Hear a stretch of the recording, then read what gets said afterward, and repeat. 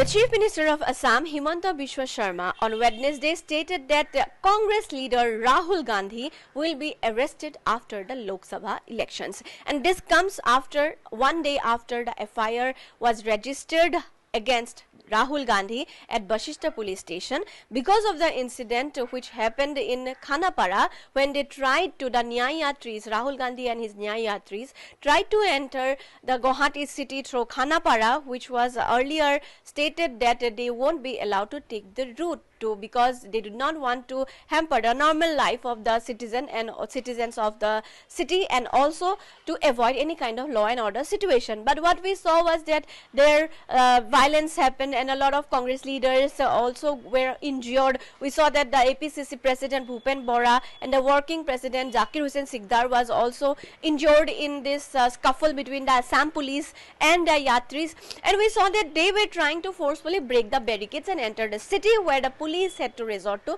lathi charge after which the Himanta Biswa Sarma chief minister ordered the GP Singh which is the DGP of the state to take a serious probe into the matter and register a case if required after which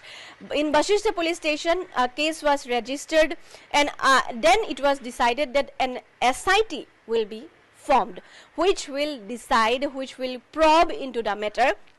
and now what is coming lately what is coming the latest is that the case has now been transferred to the CID and SIT will be formed and Himanta Biswa Sarma on Wednesday stated that we will not arrest him before Lok Sabha elections because it will become a political matter. We want the SIT he stated that they want the SIT to perform proper investigation to do proper investigation. And after which he stated that Rahul Gandhi will be arrested arrested after the Lok Sabha elections. But the procedure of uh, this entire thing arresting Rahul as uh, Himanta Biswa Sarma already stated, the Chief Minister of Assam already stated that he will be arrested after Lok Sabha elections. We have seen that they are already into the process, they have formed the SIT. But when we come up to the statements of the Congress leader Rahul Gandhi, he stated on Wednesday as well that uh, he is not afraid of such kind of cases. He stated you can put 101 cases on me but I won't be afraid. I no one can stop me from taking this